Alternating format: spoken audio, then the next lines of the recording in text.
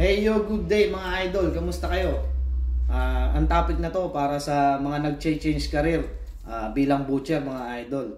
So ayun, natutuwa ako dahil ah, maraming nagiging interesado ah, bilang butcher na gusto maging butcher. Gusto nila magsimula bilang butcher.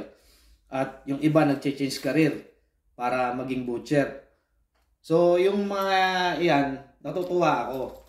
Pero meron din sides na hindi. Dahil yung mga comments na nababasa ko sa mga ah, group, lalo na sa mga group ng mga butcher, mga idol. So nananawagan din ako sa mga admins ng mga butchers. Ah, sana wag nyo itolerate yan. At remove nyo lang agad yung mga ganyang comments na ah, mga negative.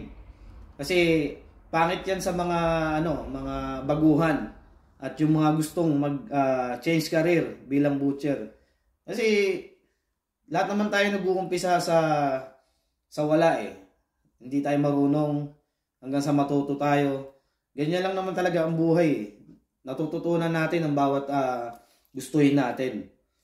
Pero yung mga nagko-comment na yan mga idol, shout out sa inyo. Ah, sana tigilan nyo na yung mga comments na ganyan na ah, magko-comment lang kayo na butcher-butcheran porket ah, mas malaki na yung advantage nyo or yung experience nyo bilang butcher. So, huwag tayong ganon kasi nagiging crab mentality tayo eh. Yung crab mentality, pangit yan isa buhay. At ang gawin natin is ma-encourage tayo ng mga butcher na gustong umangat, gustong ah, pumunta sa mga bansang gusto nilang puntahan. Hindi lang tayo basta mga butcher na ah, nagtatrabaho lang. Lalo ako, nandito ako ngayon dahil ah, yung page na to mga idol, ah, ginagamit ko to para sa mga ah, encouraging ng mga ah, newly butchers at yung mga nangangarap na butchers.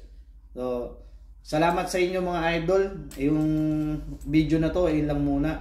Ah, basta i-report, natin yan sa mga admins.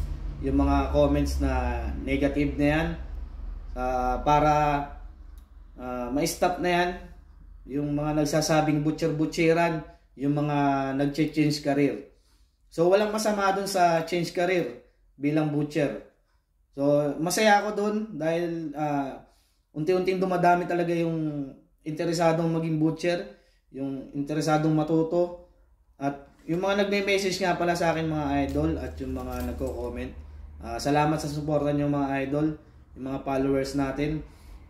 Ah, yun lang muna kasi ah, sana makarating to sa mga admins ng mga butchers group at matigil na yung mga crab mentality na mga ah, matataas ang experience na nangihila pababa.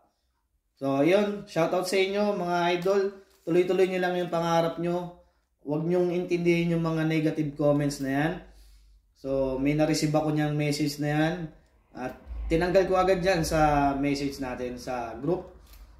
So, nananawagan din ako sa mga admins na i- yung mga report ng mga butchers na ano natin, na members natin mga idol, i ano natin, bisitahin natin yung mga yung mga reports sa page. Yung sa page group natin. Yon. So ayun, salamat mga idol. Tuloy-tuloy lang ang pangarap. Mag-change career kayo or hindi. Walang problema yan. Masaya ako dahil ah, gusto nyo maging butcher, gusto nyo magsimula. Tuloy nyo lang yung pangarap nyo mga idol. So, ko kayo mga idol. Comment lang kayo dito. May message ko agad kayo.